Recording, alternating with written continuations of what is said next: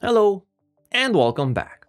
Today I want to talk about uncommon switch mode power supply topologies and look at tapped inductor converters. These are a variation of the basic buck boost and buck boost, where rather than using a two-terminal inductor, you instead use a three-terminal tapped inductor under one of multiple configurations. So if you're curious about what makes these special, then keep watching. Now before looking at the tapped inductor topologies, it's important to first understand what specific limitation found in the base topologies they are supposed to fix.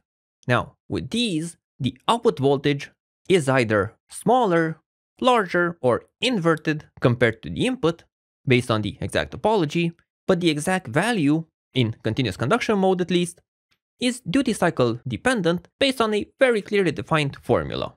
So in theory at least, you can get any voltage from 0 to the supply voltage in the case of the buck, and from the supply voltage to infinity in the case of the boost, and well, any voltage from 0 to inverted infinity in the case of the buck boost. In reality, however, a converter will struggle quite a bit when the duty cycle reaches any one of the extremes. Usually the datasheet will impose a minimum and maximum off time, and you will also see efficiency steeply drop when operating at any of the edges. So on the one side, you are limited by the exact turn on and turn off behavior of the switches, which is non-ideal, there is always a transition time. Then you have the instability of the duty cycle. And finally, for converters using a bootstrap, these will require continuous switching for correct operation. So in general, you should keep converters somewhere in the 20 to 80% duty cycle range, and in extreme cases, 10 to 90%. Exceeding these ranges can cause issues unless the converter is specifically designed to operate close to one extreme or another. So if the duty cycle range is limited, well so is the output range. You can no longer get any voltage, but rather you have a very clear limited interval. So when the ratio of input to output would force a very large or very small duty cycle, the base topologies are no longer adequate. However, as with any good technical problem, there are multiple solutions. You have quite a large range of topologies, ranging from transformer-based, like the forward or flyback, to specific topology combinations, like the boost charge pump, to the topic of the day, the tapped inductor topologies.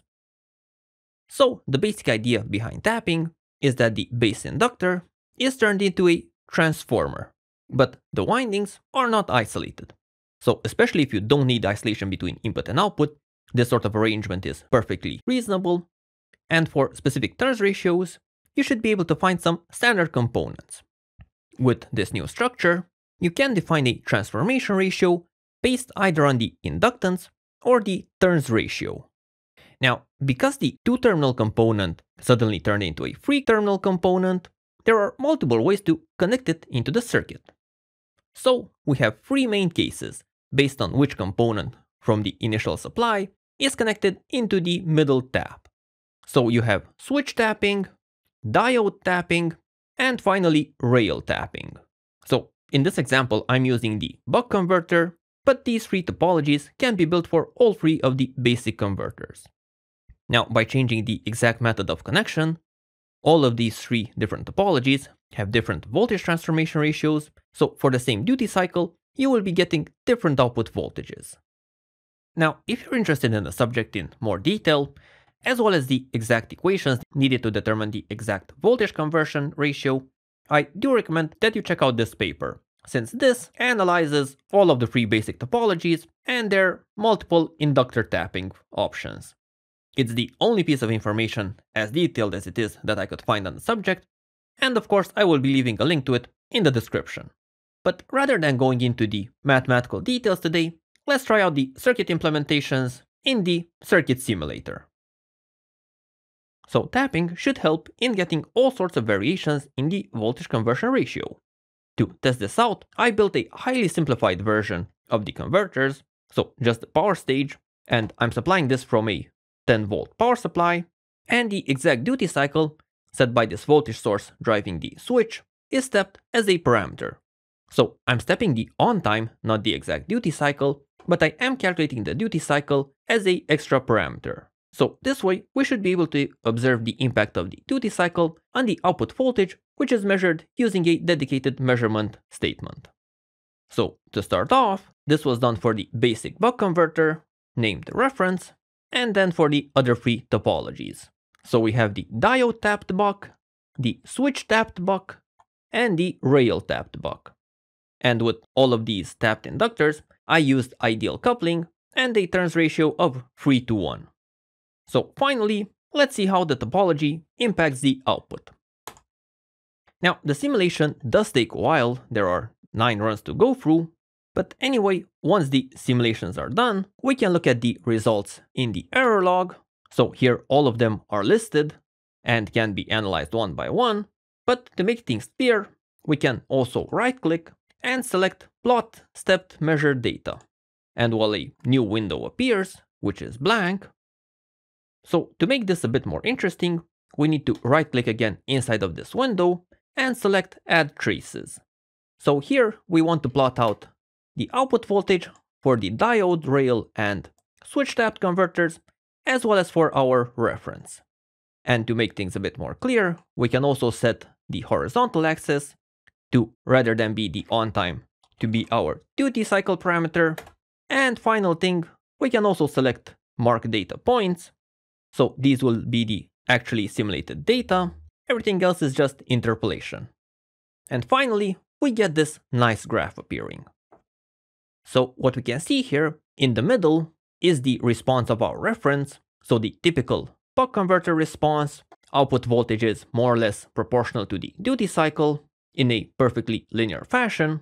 But with the other various tapped variations, the behavior does change. So switch tapping is pushing our graph upwards. For the same duty cycle, we are getting larger voltages. Diode tapping in green pushes the graph lower, we are getting lower voltages for the same duty cycle, and while rail tapping does a bit of both, for duty cycles below 50%, it provides smaller voltages, and for values above 50%, it provides larger voltages. Now, changing the transformer ratio will push the graphs out more from the center, so the graphs will be far more deformed from the ideal reference, but this is the result that you get with the 3 to 1 transformer ratio. Now, I created a similar setup for the boost converter as well, so for the base reference, as well as for the derivatives. So I'm using the same type of measurement and parameter statements, and I'm comparing the basic boost converter with the switch tapped, diode tapped, and the rail tapped implementations. Now, before even starting, the rail tapped looks a bit odd. And well, it is. The diode is pointing the wrong way. I mean, it's not wrong, it's just that this implementation of the converter is inverting. But anyway, if we run the simulation and wait again for it to finish, and then we generate the graph in the exact same way, we see a similar story to the buck converter. So all of the topologies are giving a different response. Now, before analyzing the results in more detail, there's one more modification that I want to make. So the rail tapped boost, the blue line, is inverted. And to make things a bit more comparable, I will uninvert it by simply putting a minus in front of it. So now, as before, we can compare the standard boost, so the reference voltage in red, with the other ones. And we can observe that switch tapping pushes our graph higher, so for the same duty cycle we're getting larger voltages. Diode tapping in green pushes the graph lower, we are getting smaller voltages for the same duty cycle, and rail tapping does a bit of both, so up to a point it will provide smaller voltages, and above that point it will provide higher voltages. But of course inverted. So, inductor tapping can offer some very interesting options in the exact output voltage transformation ratio. So why is it uncommon?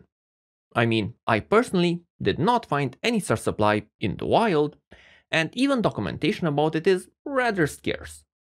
Well, other than the component cost, the tapped inductor, we can get one more clue if we look at the simulation and start unidealizing some of the components, namely the inductor. Now, to keep things simple, I will stick to just one implementation, the switch tapped buck converter. However, the same issues will show up with all of the other topologies. Now, if we run the simulation, and we look at the converter using coupled inductors that have a 100% coupling factor, so our coupling is an ideal one, and we look at the voltages in the various nodes, the voltage in the node connected to the switch, this goes from 0 to some high voltage value in a nice square wave. And while if we look at the other important node, the one connected to the diode, we see a similar story. However, since the diode that we're simulating is not an ideal component, we already start to see some of the problems that we might face. These spikes that are appearing could push the diode into having too large of a reverse voltage applied to it. Now, things become far more interesting when we take a more realistic, non-ideal coupling factor. So let's say 99%. If we look at this case, and we analyze the node connected to the switch, well, we are getting kilovolt level positive spikes. And in the node connected to the diode, we are getting some very nice oscillations appearing. So if left as is, both of these phenomena can cause issues with the converter's operation. Especially the switch can get destroyed from the extreme high voltages, and we also get a bit of unwanted emissions from our diode oscillations. Now, there are multiple ways of solving this issue using various snubber networks, one of the simplest being the usage of RC snubbers in parallel with the switching elements. Now, I did not put too much effort into choosing these values. However, with this circuit, if we look at the node connected to the switch, we can already see the spikes being limited to reasonable values, so only 70 something volts. There still is a bit of an oscillation, but that can still be improved upon. And the same can be said with the diode. We still are getting ringing, but it's no longer the continuous oscillation that we've seen with the previous circuit. So while in other converters, using snubbers is more of an option, here these become quite necessary to mainly protect the switching element. The circuit is now usable, but adding resistors will come with unwanted losses. So the tapped inductor converter is realistic and feasible if care is taken to implement it correctly. However, out of all of the topology variations, which is the best? Well, I could not find a lot of practical implementations that take advantage of it, but I did find a couple of very interesting application notes. One of these is Linear Technologies, currently analog devices, app note 44.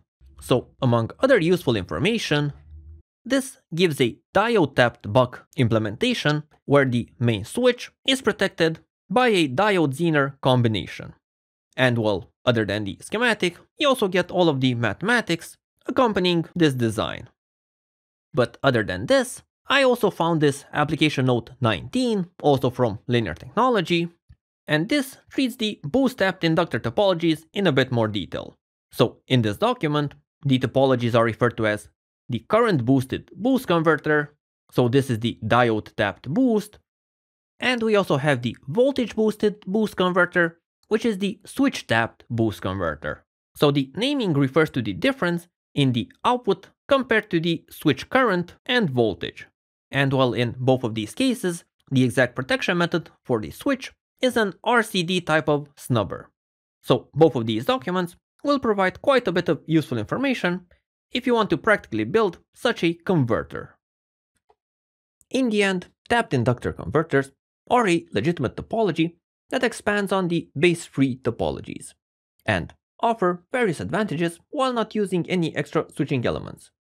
The only thing to keep in mind with such a converter is the need to provide adequate protection to the switching elements to prevent unwanted damage from the uncoupled inductance. And with that said, hope you enjoyed this video, and if so, there are more similar videos on my channel that you might want to check out. And if you want to be up to date with my latest releases, also consider subscribing. See you next time. Bye bye.